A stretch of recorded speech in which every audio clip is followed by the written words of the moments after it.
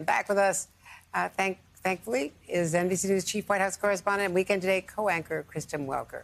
And she's also joined by, we're joined by President and CEO of the Center for American Progress, Patrick Gaspard. Thanks to both of you. Kristen, first to you. Just what is likely to come from the president? The message now to fellow Democrats in these meetings is get it done, or uh, how can I bring you together? There was criticism that he wasn't doing enough to bang heads together. Well, I think you hit the nail on the head, Andrea. His message is going to be get it done.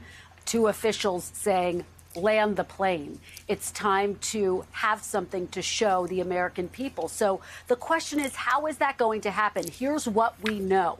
We know that there are a flurry of meetings at the White House today. We know that there have been a number of conversations on Capitol Hill, a number of phone calls between both sides of Pennsylvania Avenue. But what, if any, progress has really been made? That remains to be seen. Based on my conversations just a short while ago here at the White House, Andrea, I can tell you that there are still a number of key sticking points points, including one of the key climate proposals that is included in the reconciliation bill. Senator Manchin is opposed to it. He wants it scaled back.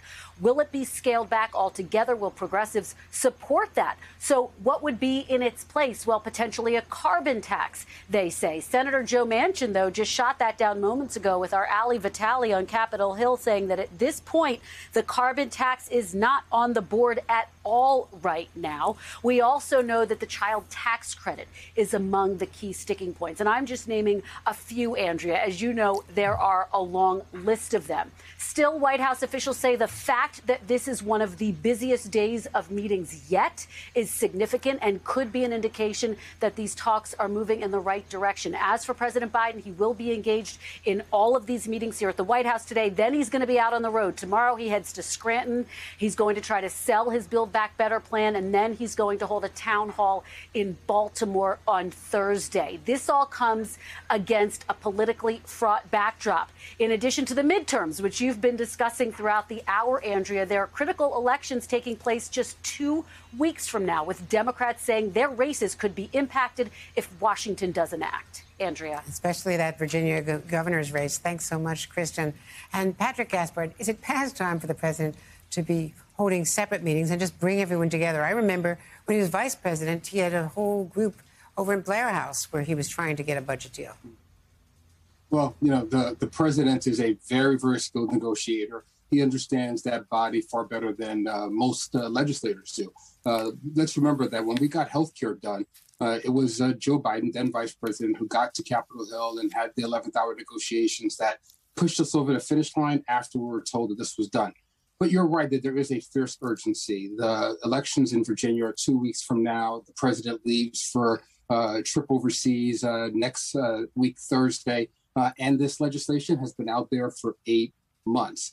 Uh, you showed the scrum between Senator Manchin and uh, Senator uh, Sanders. I just want to hasten to add that those two senators have more that they agree with uh, in this bill than they disagree with. Both oppose the Trump tax cuts and are clear that it has to be uh, repealed and that we have to raise the corporate tax rate. Both of them are very clear on the provisions around child childcare uh, and the need to create more access to those slots for parents uh, in this country. Uh, and both of them are negotiating towards the lowering of price uh, dr- drug prices for Americans. So there's a lot of agreement there. Uh, they're just uh, working out the margins.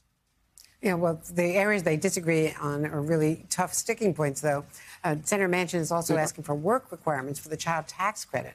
And the Washington Post today examined that and how it would affect for instance, grandparent led households, many households led by grandparents who are neither physically nor financially prepared to raise another child. Some are still working.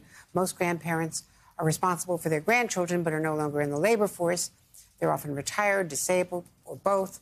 So, isn't that an unreasonable demand to have a work requirement for childcare? I, I think I, I, think that we've already seen, uh, Andrea, in the few uh, the first half of this year that a robust uh, child uh, credit has already helped to significantly cut poverty in communities across this country. So it is necessary that we get uh, this provision uh, in. Uh, and I think that Senator Manchin has said publicly that he uh, recognizes the, the merits of it.